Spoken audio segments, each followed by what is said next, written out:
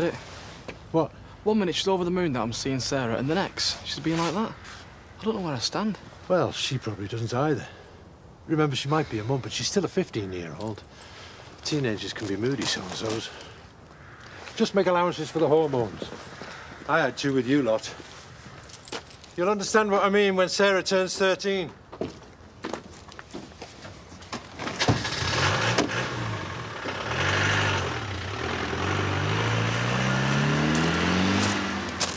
have to be honest with you, Debbie. I'm not sure I can deal with all this secrecy anymore. And what's that supposed to mean? I just think that there's going to be too much pressure. Well, if it's too much like hard work for you. No, hang on a minute. What I was going to say was that I think we should go and tell Andy. No way. Why not? Because he'll go mad. It will let him. No, Rob, he's going to be upset. Have you still got feelings for him? No. Well then. Right, let's go.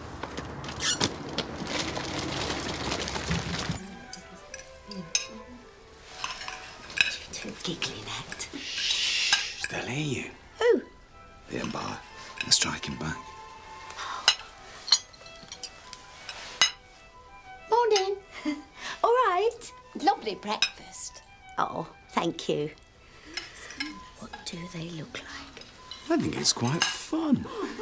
What, you mean fun or uh, just plain odd? Hey, having a rich fantasy life's good for you. Relieves stress and tension, huh? Anyway, they're not hurting anybody. True. I bet you're a secret Star Wars geek. I might have seen Empire 35 times. Tragic. I'm looking forward to that French lot turning up. I mean, what are they going to think of having breakfast with them? I think they're going to be more worried about us finding rooms for them than having breakfast with a bunch of loonies. You took your time. I'm gonna have to go into Hotten, Dad. It's making this worse. You won't think there was a mechanic in the family. What are you doing here? Get out! Look, we don't want any trouble, Andy. Debbie, what are you playing at bringing him here? We need to talk. What do you mean, we? What the hell's going on? Rob wanted to come up here to be straight with you. Is this for real? Bonjour, mesdames et messieurs. Bonjour. Bienvenue à Emmerdale. Right, which one of you two is Delphine? Who est Delphine? Anyone? Delphine, elle n'est pas ici. Elle est restée en France. You what? But what's she doing in France? She's meant to be here. Oh, well, don't panic. Um, now, who speaks Anglaise? Oh, now, come on, you're having a laugh. Oi, unless either of you knows the French word for double booked, I suggest you both wind your necks in. What do you think all that's about? Who cares? What's up with you? Well, I've been going through the CCTV tape, And? and it hasn't been changed for weeks. Oh, well, well done. That's your job. Since when? Well, since you started. Well, wouldn't it have been a good idea to tell me? Oh, this isn't helping. No CCTV, no thief. I'll never be able to trust anyone again. Well, if it was a thief, I still reckon you messed up when you sold that armoire. To the tune of £500, I don't think so. Then I could suggest that you were so excited about flogging that monstrous chaise that you made the mistake. Oh, could you? Well, we're right back where we began, so. Rodney wants this sorted today. And why are you looking at me when you said that? You're the inexperienced one. I've run my own business. Take it there's still no sign they're missing cash. Nope, and Rodney's on the warpath. Oh, he'll calm down. It's only money. Oh, yeah. Money's threatening to dock from our wages. Well, don't worry, I'm sure it won't come to that. You're totally stupid. You know what he's like, you know what he's capable of. I know what you've told me. I've heard both sides now. Oh, I bet you have. I thought he had more sense. He doesn't care about you. He cares more than you ever did. And about Sarah as well. I don't want him anywhere near Sarah, do you hear me? And what makes you think you've got a choice? She's my baby. And mine. When it suits you. Shut up, you. Do you not see what he's doing? He's using you and Sarah to wind me up. Oh, for God's sake. What is it with you, Robert? Have you not caused enough trouble?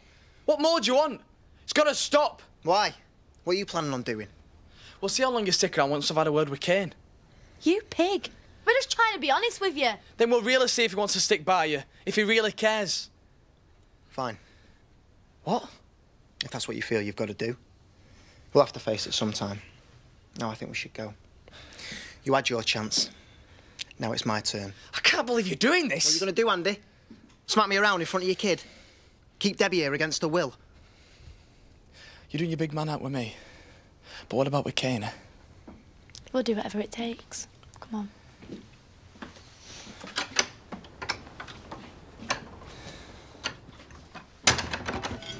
French, did you say? Oh, well, I like a bit of garlic, me. And two of them are women. Oh, no, I'm not interested then. Edna, you're a Christian. Can you help me out? Oh, my house isn't geared up for continentals. Then I'm just going to have to make room for them somehow. Edna, mm-hmm. what about a clean living Englishman? Who? Dr. Forsyth. That's not fair. You only offered me foreigners. I'll have Dr. Forsyth. She asked me first. It'd be a pleasure. And guess what? It's a two for one. You get Terry and all. Oh, you never mentioned Terry. I'll have Terry. No, you won't. I shall take them both. It's a deal. but don't look so put out, Betty. I'll come and stay with you. I'll See you later. Thank you. Why? What have I done? Oh, you just brought the average age down in here. I was going to go all day without seeing a decent bloke. Right. Donna, just the girl I wanted to see. What are you after? Drinking partner? I was so impressed with how you dragged me under the table at the rugby club. Wondered if you fancied a rematch. I'm free tonight. Good for you. So what do you say? Sounds good. Don't you have wedding arrangements to make or something? no, I'm well up for it. Yeah, me too. Hiya. Hiya. Max has just invited us out tonight. Actually, he invited you. Oh, right. Um, of course, I meant both of you. How'd you fancy a night on the tiles? Um, it's a school night. You know, I'll be fit for nothing the next morning. yeah, I suppose. Oh, don't worry about it. It's just an idea. Morning. Find my money yet? No, not yet. Still looking. I went through the tape. Which might have helped if somebody had changed it. And whose job was that? His. Fantastic. That is fantastic. Well, well, I don't feel so bad about this now. Here. But there's only coins in here. That's because I've docked your wages. Maybe it'll teach you some responsibility for the future. What's going to teach me is about living in poverty, and I've already done that. I was going to hire a tux for this charity auction lunch. Now, don't you have one of your own? I'll just be quiet. What makes you think either of you are going? You're both far too good at giving away money as it is. I knew he'd be upset, but He'll get over it. he really does care about Sarah. But he never cared about you. Debbie, you didn't believe any of what he said, did you? You know I'm not lying to you. Yeah, no. I mean, all right, I haven't been a saint, but who has? Certainly not Andy, that's for sure. I just don't know if it's worth all this hassle. We haven't even told my dad yet. We may not have to. I think Andy will go through with his little threat. And then what? Look, when I first started spending time with you, I knew I was playing with fire. And I knew what people would think. So when I started to have feelings for you, I decided just not to go there.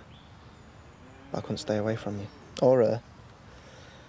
I think you're worth it all. And I don't blame Andy for wanting to keep it all to himself. I know how he feels.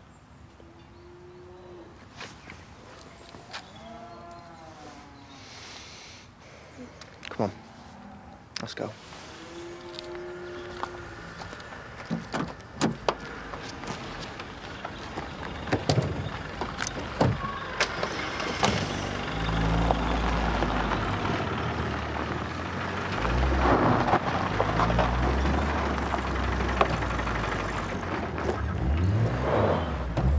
Did he want?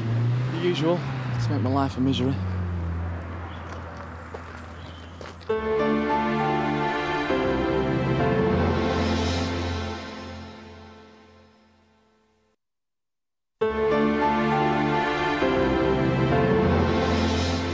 It's only for the one night.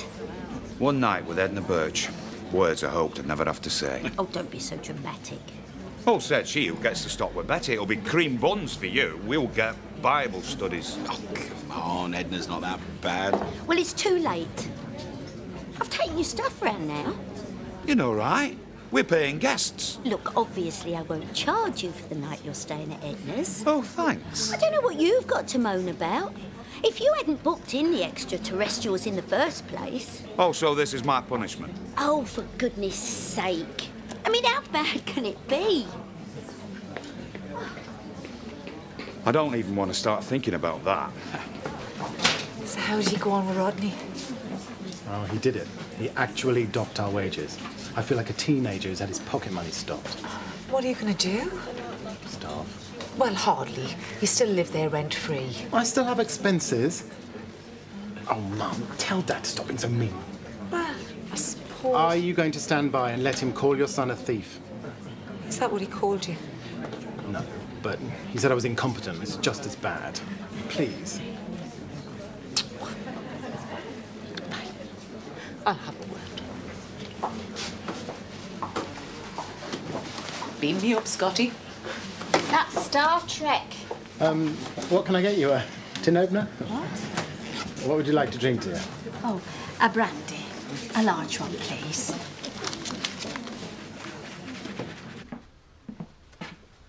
I don't mind what he does to me, Dad. It's just how he's going to work Debbie and Sarah just to get at me. That's all this is. Let's not get ahead of ourselves. What did he actually say? I don't know. Not much. It was Debbie doing most of the talking. Well, so was it her or him that said all this about them being together? Well, her, I think. Although we didn't correct her. It doesn't matter.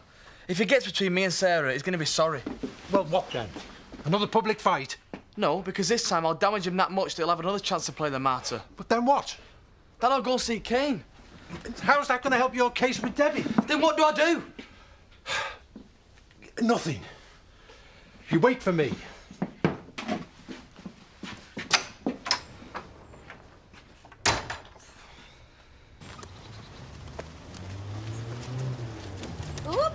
Oopsie daisy.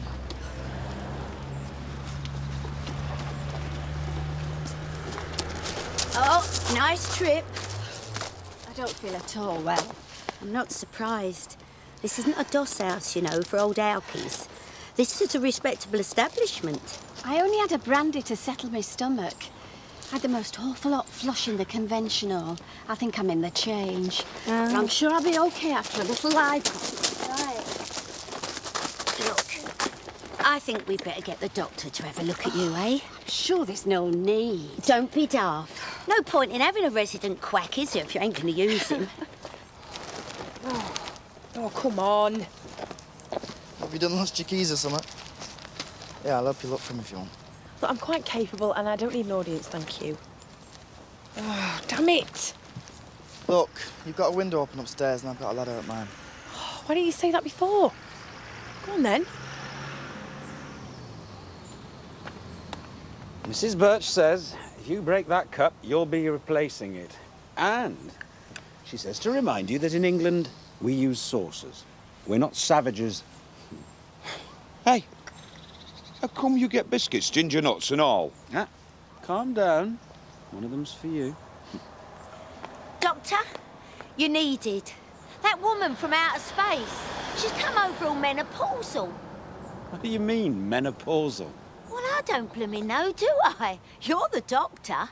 Well, come on, shift. I'm coming.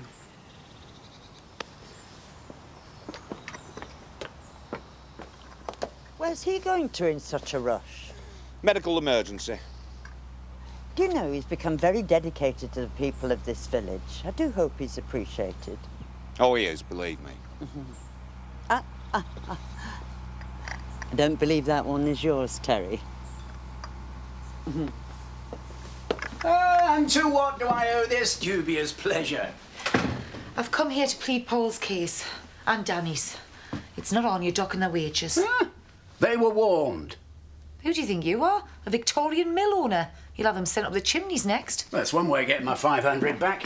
Anyway, if they didn't spend so much time bickering. Oh, come on. You love them fighting for your attention like a couple of puppies. I don't know what you're talking about. And why are you suddenly rushing to their defence? Well, someone has to. 500 quid's a lot of money if you've got nout. Or can't you remember?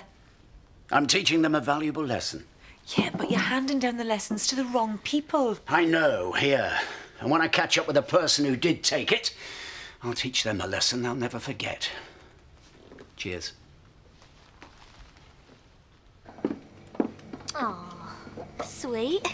Keeping up appearances even though the church is booked. Just making an effort. But who for? Hoping Max might pop in again. Shut up. Not denying it then. You had a face like thunder when Marlon said he didn't fancy a night out. No, I didn't. I can read you like a book.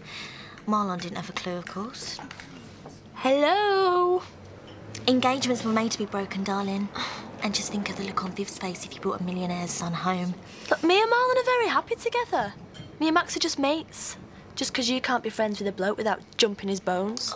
Oi! Well, don't judge me by your very low standards.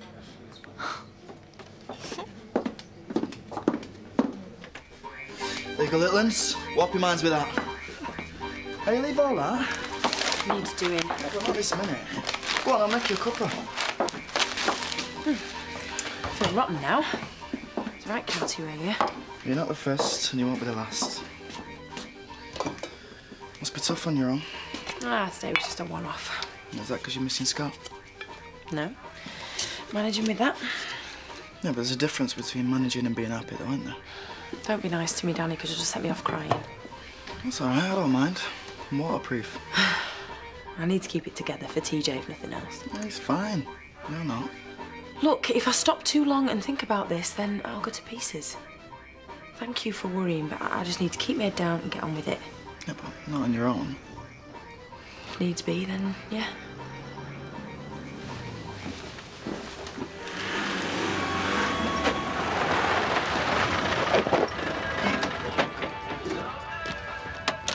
What have you got to say for yourself? What about? You and Debbie. Well, she's been letting me spend some time with Sarah. And? And nothing. Oh, I get it. Andy's put two and two together and come up with five as usual. He thinks I'm at it with Debbie, doesn't he? Aren't you? She's just a kid. It's Andy that likes him young, remember? Yeah, all right. Now, why would I want to lump myself with a teenage mum and a baby? Does that sound like me at all? I don't know. I don't know you anymore. I'm not sure I even want to know what you're capable of. Look, Sarah is the only family I've got left since you disowned me. Well, that's down to you. I wanted to avoid all this. That's why I went up there. I didn't want Andy to see me and Debbie together and get the wrong idea. More lies. Well, think what you want. Well, nothing too serious. Just a combination of heat and excitement. And the brandy won't have helped either. You had me worried there for a minute. no need. I prescribe an early night and plenty to drink, and I mean water. Yes, Doctor. You know, you've got the healing touch. I feel better already. In fact, I feel like a teenager. Well, I don't know where you'll find one at this time of day. oh, for Pete's sake. Now, to bed. Doctor's orders. if you insist.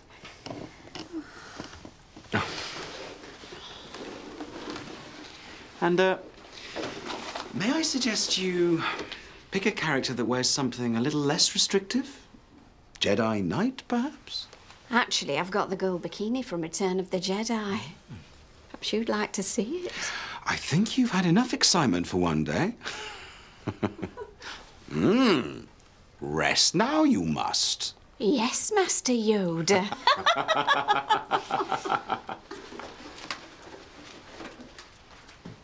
thought you were supposed to be less hormonal after the menopause.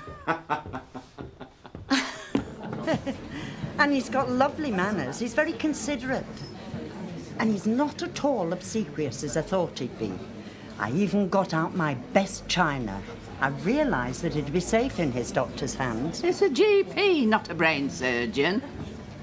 Will you be getting your Sunday best out for Steph? Adding all the sharp implements, more like. Uh, No, I shall be treating my guests with the same hospitality that everyone has always come to expect of me.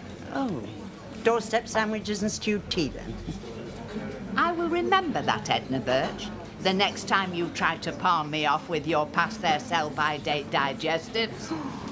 Listen, I know it's not a night on the tiles, but I'm really looking forward to it just being us tonight. Me too. Yeah. Because before you seemed a bit disappointed. Hi. I thought you were having a big one tonight. Oh, I kind of lost interest after you blew me out. It just wouldn't be the same without you. Or you, of course. Well, it's you know, it's just not a party without a dingle, is it? Absolutely. Some other time, perhaps. Well, he says you've got it all wrong. Well, what did you expect? When was the last time he told the truth? He made a good point, though. He said he's not the kind of bloke to lumber himself with someone else's kid. Not just someone else's kid, Dad. My kid. Well, if he's such a free agent, then why is he hanging around the village? To cause trouble. Okay, okay, I know he's lying. To you, to me, and I think to Debbie. I just wish I could understand why. What's to understand where he's concerned? He's ruined my marriage, my farm, and now he wants my daughter. Why doesn't he just go? Because he can't leave until he's won. When did this get to be about winning? It always has been, Dad. Ever since we were kids. This is just the start of it. Well, we can't just sit here and wait for his next move. I'm not gonna. The only thing that wiped that smug smile off his face this morning was when I mentioned Cain. He's scared of him. I don't blame him. He's a flaming psychopath, Andy.